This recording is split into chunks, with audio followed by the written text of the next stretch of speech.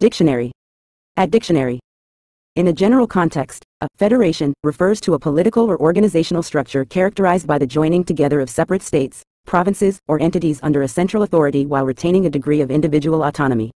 It represents a system where the member units, often referred to as states or provinces, cooperate and collaborate in various areas, such as governance, defense, and economic matters, while maintaining their distinct identities and governing bodies. Federations are established to promote unity, strength, and shared interests among the member entities while also respecting their individual rights and jurisdictions. This form of organization is often utilized by countries with diverse populations or geographically distinct regions to ensure effective governance and representation.